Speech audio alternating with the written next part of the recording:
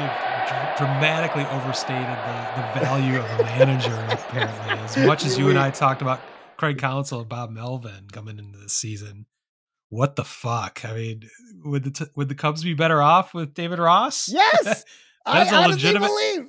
That is a legitimate conversation that's being had everywhere. Uh, I don't really need to get into that at this point. No, um, but that, that that that's a fun conversation. I think we'll have in the off season. But I also want to hear what David Ross is doing. I, I wonder what what he's how pissed off he is, or how much fun he's having watching this season from his palatial estate in Florida or wherever he's at. Um, can I'd love to hear an interview with him at some point. So actually, you and I should get on that. Try and find his cell phone, call him up. But we should.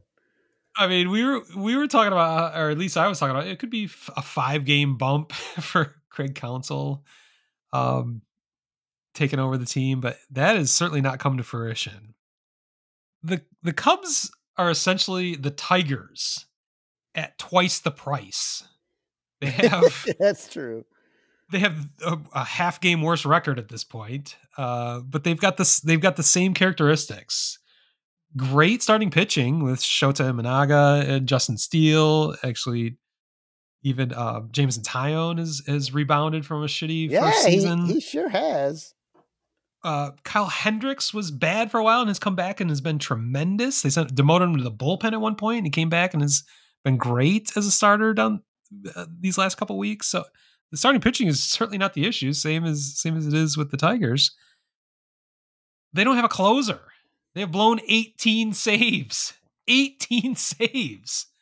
If they had even uh, converted half of those, they'd have a, a, winning record at least, which would put them right around where I predicted they would be. I think they were just above a 500 team before the season started. I didn't think they were again. I didn't think they were going to be a 90 plus win team. I thought they'd be middle of the middle of the 80s, and that would put them in contention for the NL Central crown. The problem is similar to the AL Central. Two teams have been way better than I am eh, possibly anticipated. The Brewers are it's almost like they jettisoned the weight of Craig Counsell and are much exactly. better without him. exactly. You guys got screwed I, on that. They also jettisoned the weight of the two top two thirds of their rotation, which makes no sense. So I, I think again, I think they're a house of cards as well. I, I don't. I, I need to probably do more research into that, figure out how how the fuck they were doing this. But the bigger house of cards is the cards themselves.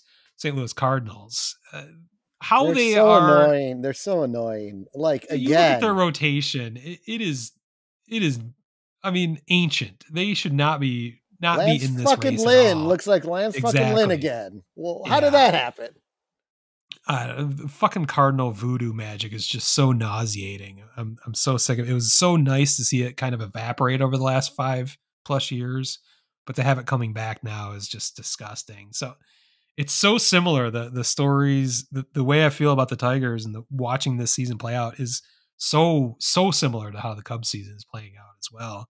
Just on a totally different scale, as the Cubs spent 228 million dollars on this payroll, or the Tigers spent 107, which I think 107 is probably the the the value you get uh, for or the being just below 500 is pretty good value for spending 107 million versus 228 pushing up against the bullshit de facto salary cap. Yeah. Um, Shota Imanaga has been he's far exceeded my expectations. I was a little bit dubious hearing about him. You you know I thought it'd be a huge adjustment coming to a new culture, new league.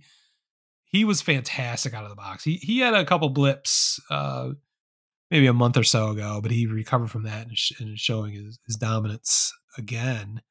I was worried about the fly ball rate. Uh, that has not come to crush him yet. That might still come to fruition here as the hot months are here at Wrigley Field as we end July going into August.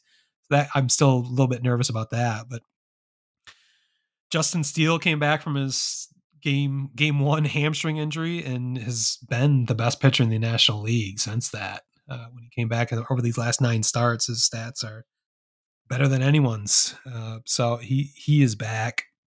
Like we were talking about Kyle Hendricks, uh, he's looked really good the last couple starts. I was I was sure his career was over. If we were doing podcasts the last three months, I'm sure I would have done a segment where I would have called it called it a career for Kyle Hendricks. I would have thanked him for his his time, the the huge moments he had in Cubs history.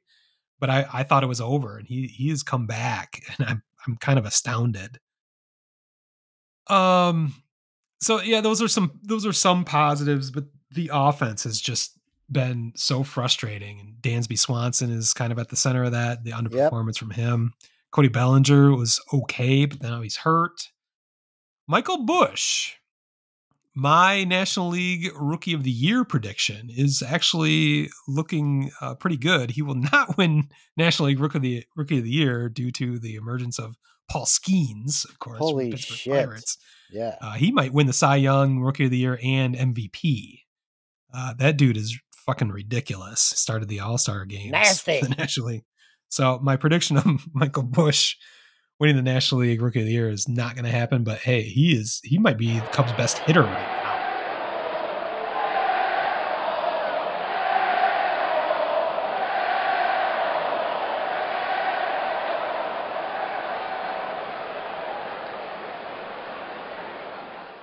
Word Hole Media.